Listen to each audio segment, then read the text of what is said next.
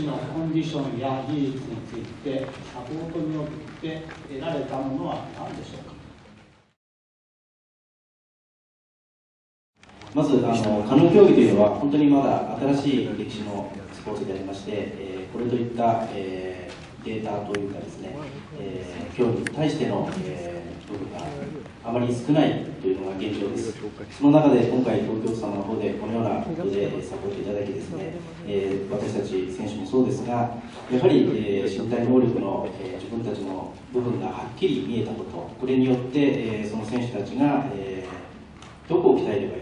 えー、ここが不足しているのかということが、一つ大きく分かったということが一つです。それとあと、えー、パフォーマンスで、えー、競技での、えー、ビデオフィードバックというのをやっていただきまして、えー、私たち、えー、競技の1本目、2本目の中の1時間しか休憩がない中に、えー、修正をして2本目に、えー、臨むわけですが、その時のビデオ修正で、えー、かなりの選手が、えー、自分がやってた部分とイメージと実際の映像との、えー、違いが明確に出て、えー、新たなイメージ作り、えー、ができ、えー、テクニックがここでのどういうものを使えばいいのかというところまで細かいところまで、えー、知ることができたことが、えー、このサポートでかなり良かったのかなと思います。それとあと、えー、私たちスタッフの方もですね、えー、このようなことを受けて、えー、選手たちに言葉では伝えていたんですが、えー現実として、えどのような選手が捉えているかということがよくわからなかったこともあります。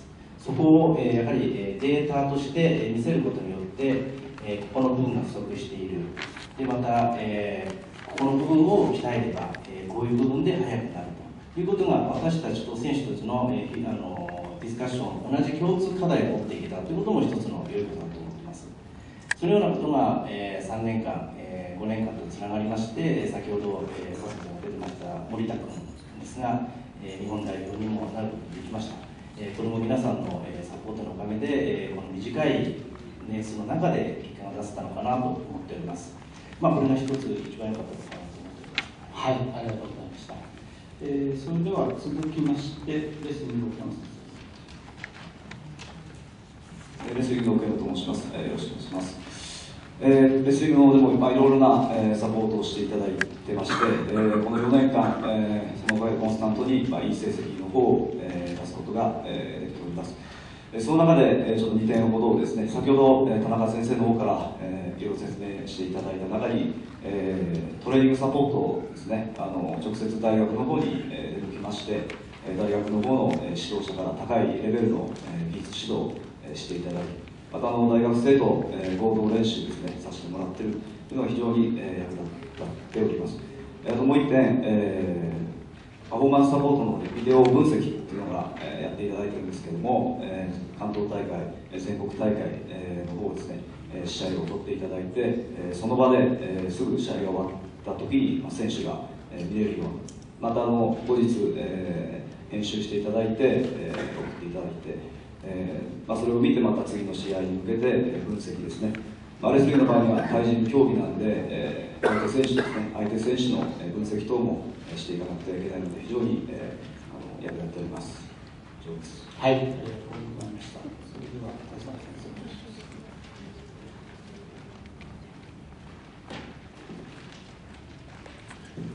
えー、陸上の有坂です。よろしくお願いします。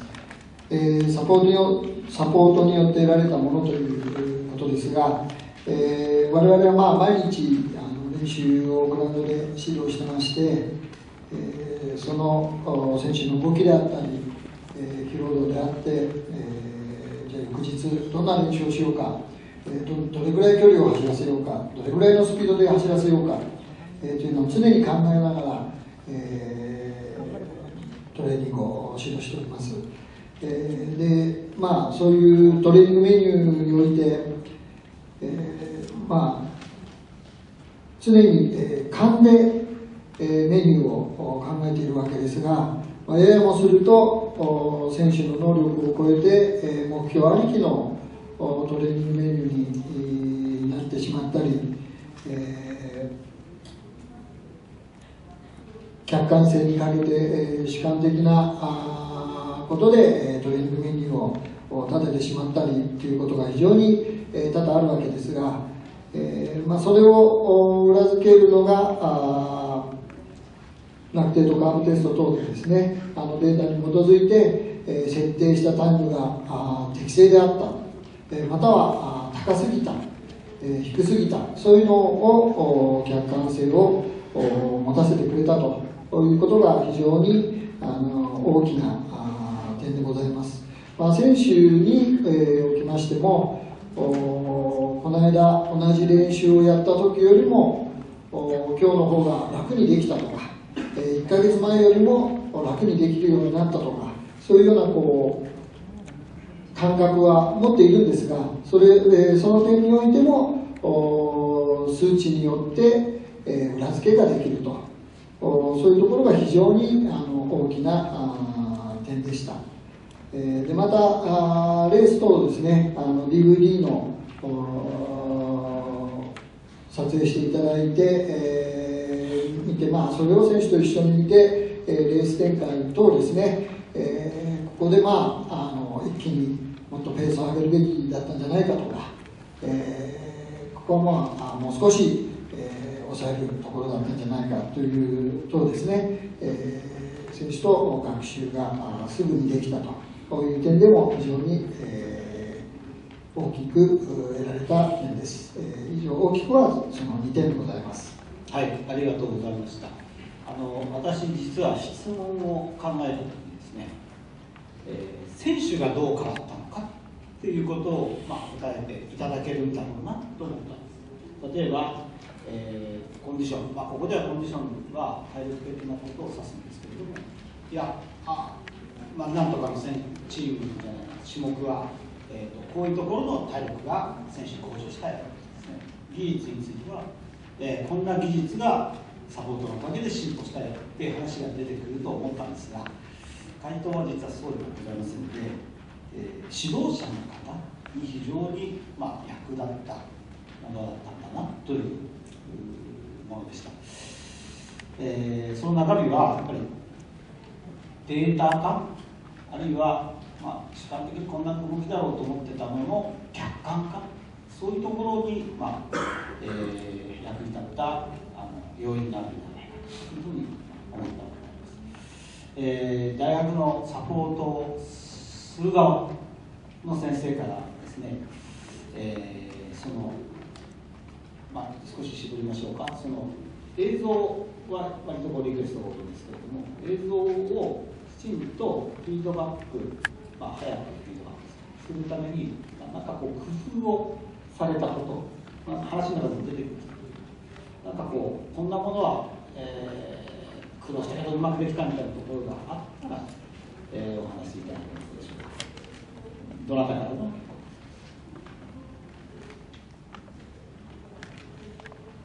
あはい、えー、日本大学の柏木です。とまあ、先ほどお話もしましたが、ウェブでのまあ活用っていうのもあるんですけど、えー、もう一つですね、やはりラッテとカードテストの時に見せました、やはりあの動きを同期して同じ時間で、えー、比較して見せてあげるっていうのが、えー、選手にとってみると非常に効果的なことなのかなっていうふうに思いました。やはりこの辺に関しては先生方ともやっぱりお話した時にどのタイミングでどう違うかところが具体的に示せるというところで、一つ選手へのフィードバックの効果としては有効的な手段なのかなと思います。受けた側の先生、いかがですか、指導者の側としては。えーまあ、スピードが上がるとともにですね、えー、スライドも広がりますし、あと、まあ、今回、えー、私の選手がサポートを受けたあのは非常にこう設置があセンターラインよりこう中に入ってしまうというのがを常々こう感じていたのが、まあ、実際に映像で、えー、ハイスピードカメラで、えー、スローでこう見られたっていうのは非常にあのそれ以後の指導に役に立ってあの非常に良かったです。はい、あの他の先生方で、えーと、フィードバックいろいろ苦心されたところとか。えー、国士舘大学の田中です。えー、我々はあのまあ、レスリングの試合を、サポートでビデオ撮影した際に、まあ、気をつけた点というか、まあ、工夫した点というところはですねあの一番初めに初年度の確か、えー、都大会だったと思うんですが、えー、そのサポートの際には、まあ、やはり会場には、えーまあ、ビデオ撮影をするエリアを設けるんですがなかなかそこに選手たちに来てもらうだとか、えー、周りにもやはり、いろんな、まあ、府警の方だとか指導者の方もおられてなかなかスペースを確保できないという問題点がありました、えー、その時には、えーまあ、競技団体さんにお願いをして、えーまあ、体育館の一角を対策室というような形で設けさせていただいて、えー、その場で、えー、選手たちに試合を見せるというようなことを試みました、えーまあ、十分なスペースがありますので何度も繰り返しえーまあ対象となる次の対戦相手の試合を見たりだとか、えー、十分に対策を練るというようなことができたと思っております。その点あの、えー、奥山先生いかがでしたか？そのフィードバックの、まあ、場場作りですね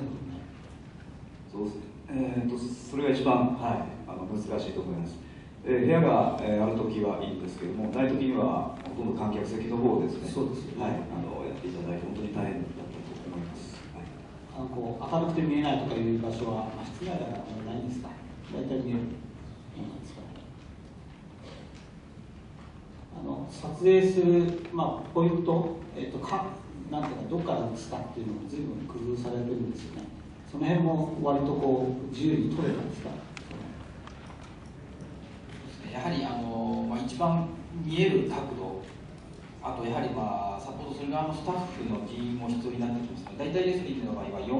マットありまして、えーまあ、それぞれの場所で取ってしまうと、まあ、1人が1箇所を担当するというとなかなか大変なんですね。ですのである1箇所に集まって、えー、2つのマットを追うというようなことを工夫したり、まあ、より高いところから移すだとかより近くで移すだとかさらには得点が分かるような、えー、角度から取るだとか、まあ、そんなようなことも一応配慮しております。ありがとう。佐藤先生よろしいですか？あの